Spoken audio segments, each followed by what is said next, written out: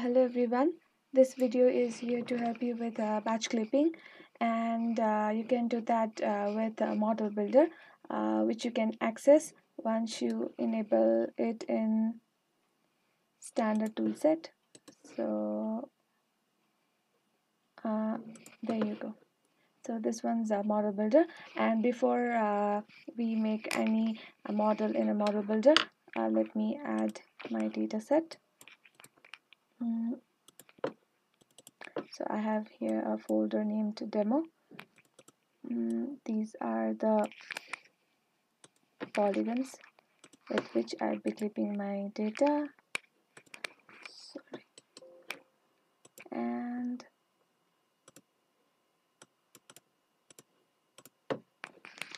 this is the root data set which I'll be clipping with all these polygons. So let me add it once more. Okay. Uh, so these are the polygons. These are the separate polygons.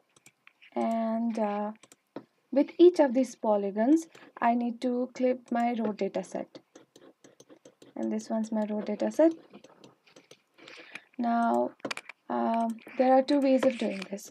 First I can do it uh, by manually using the clipping tool um, six times for each of these uh, different polygons. And the next method is using a, a model builder uh, which is the diagrammatic representation of Python itself.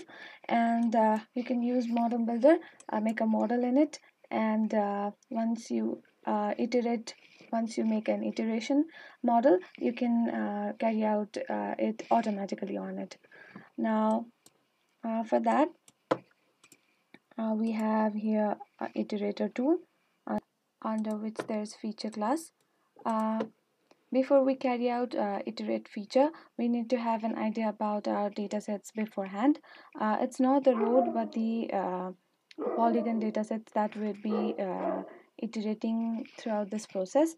And the other um, uh, factor that we need to keep in mind is uh, that these uh, polygons or any other features that we would be iterating through needs to be under the single folder uh, which in our case is the contour region. This is the folder through which we need to undergo the iteration process. Um, so let's feed it into our iterate workspace and if in case there's any other subfolders that we need to undergo through under a single folder then we uh, check this recursive. But since there is no other folder inside the contour region um, we would not be checking this out. Okay. Sorry. Now uh, next step is oh and the other thing that uh, uh I'd like to explain is that um, this 1200.shp it is the first shapefile which is under the folder contour region. That's why it's showing up here but uh, uh, no other uh, shapefile would be showing up here. Only the first one uh, is shown up here. Now um, next is uh, uh, we need to clip the features. So I'd be adding the clip tool to the model builder interface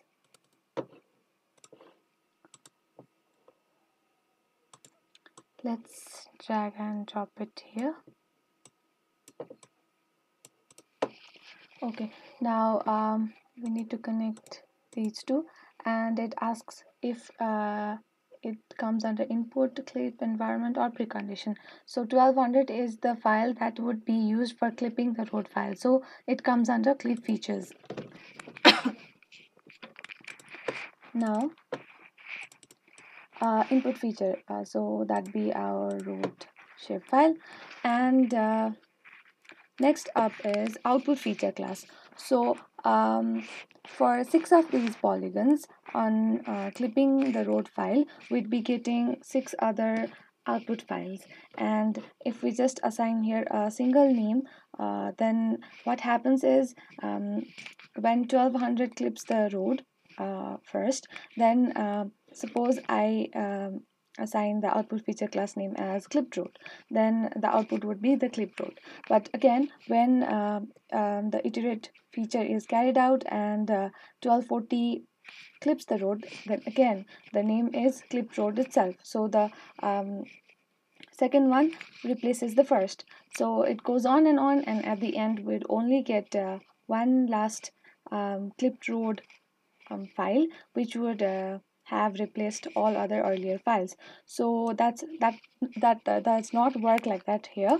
So what we can do uh, to overcome that problem is uh, we have here name under this oval structure which has a special job to do. So what it does is uh, it uh, iterates the name of the output feature class itself and uh, we can do it by so I can clipped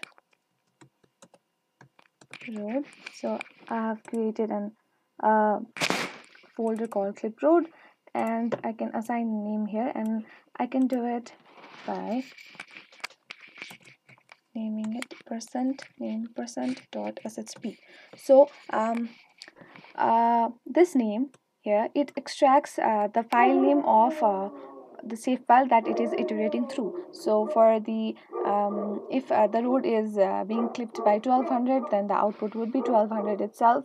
So um, in order to avoid the confusion between the uh, clipping polygon and the clip file that we would eventually get I will just assign here road underscore percent name percent. So our output file would be road underscore 1200 road underscore 1240 so for uh, so on and so forth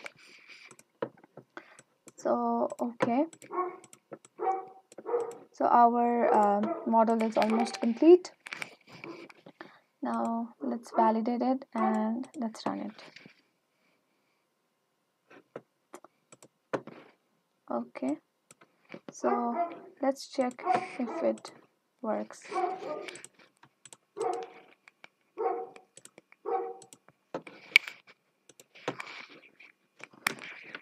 Um, so the files are already made here.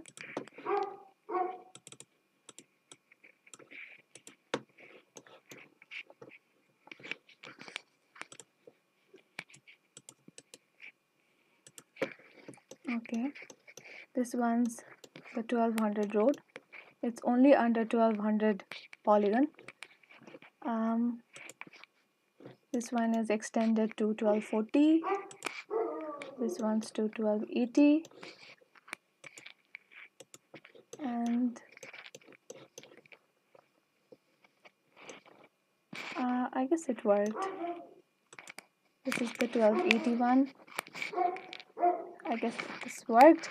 Uh, further there's one more thing to do. Um, this model can be reused um, uh, later uh, for uh, clipping purpose and it can also be um, um, it can also be put under the arc box so that we can access it uh, like any other tools. Uh, for that uh, let's save it first.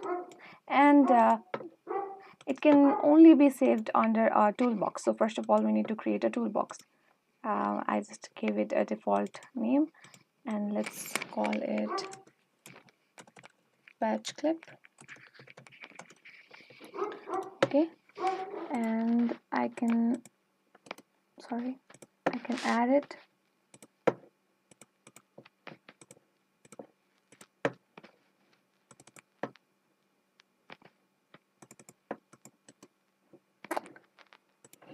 So it's here.